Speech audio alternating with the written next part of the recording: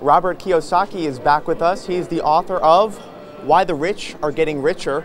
Robert, this is a question that has rocked political campaigns for decades. What is the answer? Well, debt and taxes for a young man like you will be your largest single expense. You see, but for a rich person with financial education, debt and taxes will be my largest source of income. It's so opposite of what everybody teaches you. So that's why I wrote Why the Rich Are Getting Richer, because it's really not fair. You'll work very, very hard, and debt and taxes will eat you alive. Where a guy like me, because I had a rich dad, and like President Trump, debt and taxes make us richer. It's, it's opposite. So, how do I get to your end of the spectrum? Is it largely through investing in real estate? Well, first of all, it's an education. There's many ways you can do it. I primarily do it via what I call the McDonald's formula. If you, you know, there's, a movie Founder with uh, was it Michael Keaton. He said, McDonald's business is real estate. It's not hamburgers, it's real estate. And so my business, the Rich Dad Company, is real estate. And that's why I use debt and I use taxes to acquire large sum, large tracts of real estate and pay no taxes. Hmm. Legally, legally. Huh. It's, it's a very interesting discussion as the government looks to put forth tax reform. I mean, what are people getting wrong when it comes to taxes? Just not knowing the loopholes out there? Correct. If you're a hardworking employee or a doctor or an attorney, you will pay the highest taxes. Hmm. But for the professional investor, like I'm an entrepreneur and I create investments, I pay no taxes.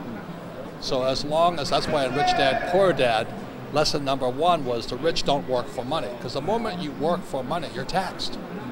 And so this, this tax reform is a good idea. But for a young guy like you, it's best to learn early why guys like me use debt and taxes to get rich whereas debt and taxes will eat you alive. Now, you know, many people think, oh, I'll just start my own business and that's how I'll move up the economic scale. But in the book, you say that may not be the best idea. Explain. Well, again, it goes back to what is your level of financial education?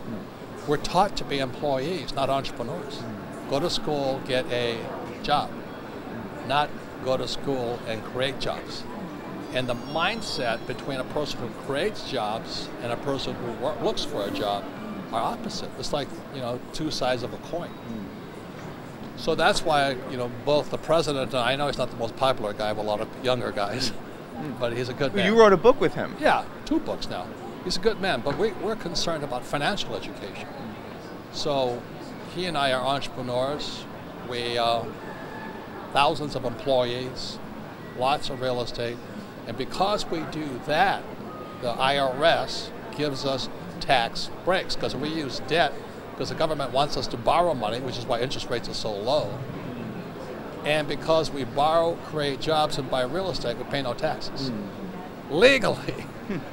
Legally. Well, you mentioned low interest rates, and with that, you also say saving is for losers. Explain that tagline because I think it runs contrary to what a lot of people have Correct. been taught. Thank you for saying that for years I've caught hell, as you know, because mm. I kept saying savers are losers. And you saw interest rates, when I was your age, interest rates were 15%. Mm.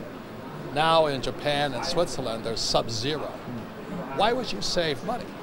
It makes no sense to me. Some people say, well, save money, but the, but the whole economic system, which we're part of right now, wants debtors. They don't want savers. So we have too much money in the system.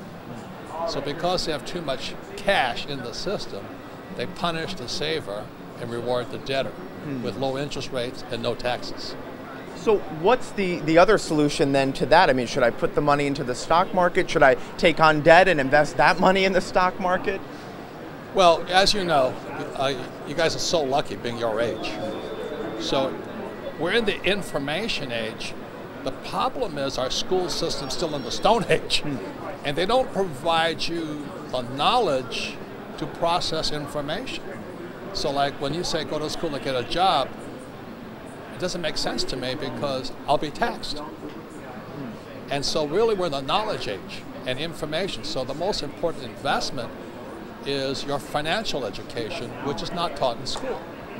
And so that's why so many bright young people like you come out, their student loan debt up to here, they're looking for this mystical, high paying job, and they're living with mom and dad. So your number one tip for young people would be Well, I would seek financial education for what I call real teachers, because when I was in school, most of them were fake. You know what I mean? They really didn't know what they were talking about. Like my accounting teacher, I'm in my MBA program. I knew more about accounting than he did because the poor guy never left school. You know what I mean? He was like my poor dad, a Need school teacher. Real world experience. Yeah. Really? Yeah, surprising. I went to flight school. I, I flew for the Marine hmm. Corps. I had to have real teachers. You know, you don't want some guy who's never flown before or, or just flew a little Piper Cub to teach me to fly in combat. I needed real teachers. So as young people, I always say to them, choose your teachers wisely. Make sure they're real. Make sure they know what they're talking about. They're not people just working for that paycheck. You know, like, like most financial planners are good guys, but they're not rich people. Why wouldn't you take advice from them?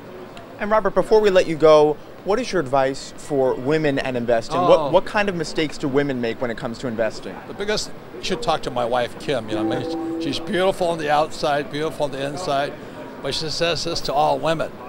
Women, you and I know that when it comes to money, women are smarter than men. That's from my wife.